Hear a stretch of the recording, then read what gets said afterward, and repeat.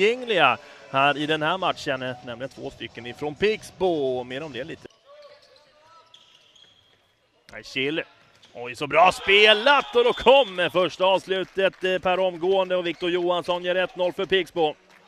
Ganska långt i förväg. Här är Weissbach som spelar in till Vrandemark. Det är 2-0 redan efter två och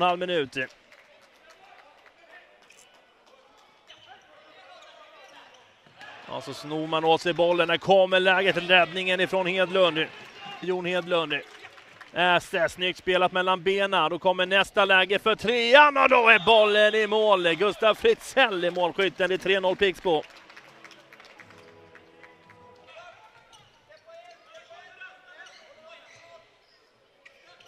Oj, så bra spelat ifrån Weissbach till Fritzell. Det är 4-0 Pixbo numera.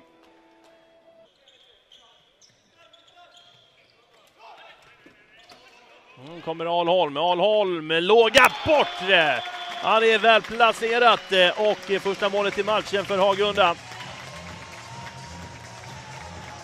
Bara fem sekunder kvar. Den där, oj, vilken passning!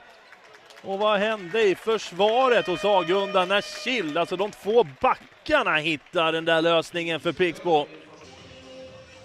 Landver eh, spelar man på bortre, bollen är lös och då kan han bara lyfta in den bollen Fylke. Det är så retsamt enkelt för backen att göra 1-5. Bollen i stolpen ifrån Almendosa. Oj, så bra spelat Lindbäck. Eh, räddningen från Hermansson.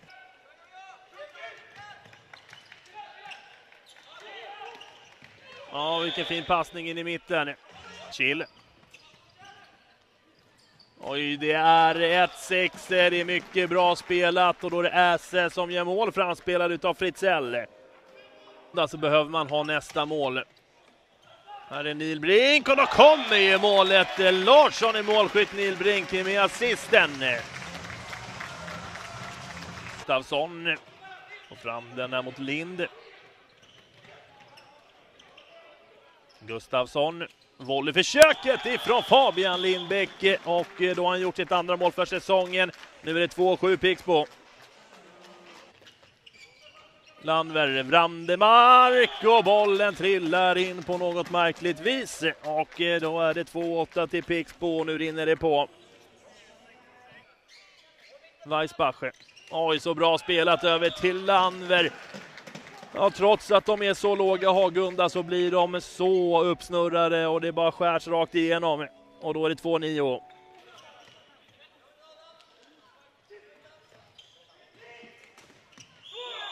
Ja, då blir det nästa mål och den skickas in. Eh, där inne finns Heinz och då är det tvåsiffrigt i för Arena.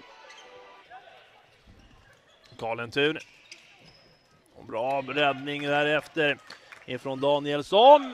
Eh, även om Fritzell står inne i slottet i nästa läge och eh, gör elfte målet för Pixbo. Hans tredje i matchen. Ja, nu då så är det mål ifrån Karlentun.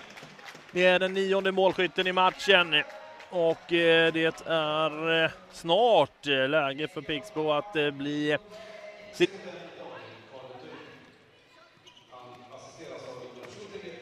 Skott ifrån Lind och då är det 2-13 helt plötsligt. Och då har vi tio olika målskyttar i Pixbo. Lind. Och så trycks det i efterhand igen. Det är en hel del efterslängar just nu och då kommer målet ifrån Heinz. Som är tvåmålsskytt i matchen. Han besegrar Hagunda med 2-14. Ehm, det är i stora hela. En eh,